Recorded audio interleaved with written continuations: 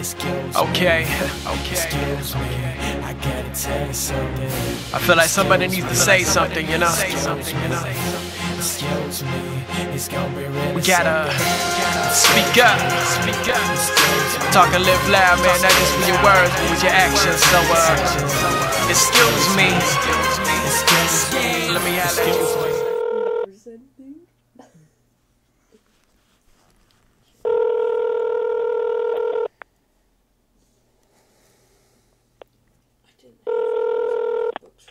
Druid Hills Baptist Church, Jim O'Connell.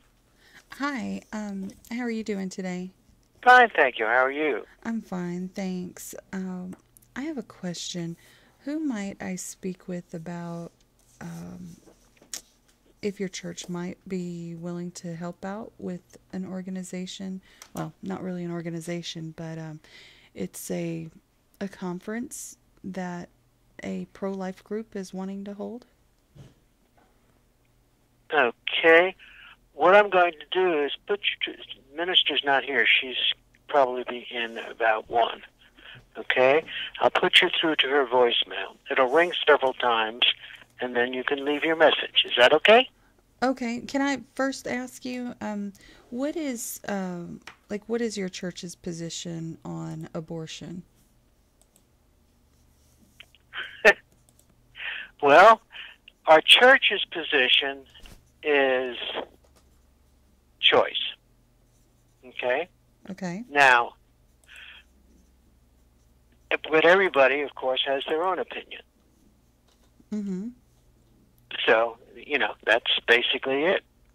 So, um, And we're not, we are not part of the Georgia Baptist Convention, okay, which which indicates how a church would basically approach the issue.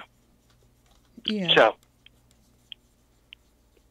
anyhow, that's basically it. I So, as a church uh, collectively, y'all, um, you feel that it's a woman's decision to um, decide whether or not she wants to end her pregnancy.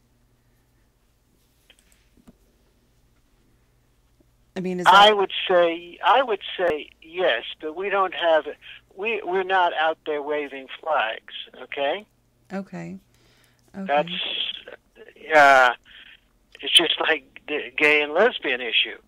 Mhm. Uh, we have gay and lesbian members, and they are we are fully aware, and they are fully uh, open about it, and uh, they serve in whatever capacity they want to serve, just like everybody else serves in the in the way they want to serve. Well, I'm I'm just curious then, if if you don't mind chatting with me a moment about this. Like, how do you interpret the scripture then? You know, one when uh, the Wait a minute, wait a minute, wait a minute. You're talking to a Presbyterian who works here. So it's it's not it's not my other than what I said. Uh, Mhm. I'm not going to discuss the issue of. Uh, I'm not going to get into a discussion of the pros and cons of it. I have my own personal feelings about it, and that's it. Okay, so you're not even willing to discuss it. Um, I'm just wondering from I- I'm Jim's just- perspective. You know, I'm just wondering.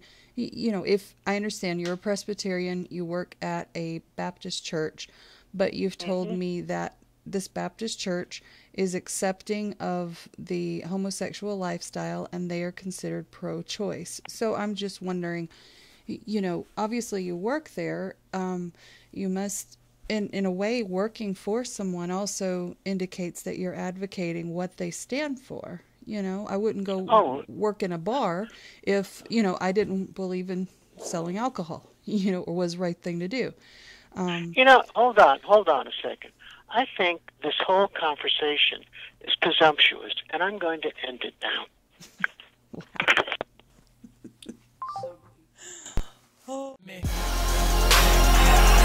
Excuse me, excuse me, I need to tell you something. Excuse me, excuse me, excuse me, yeah, yeah.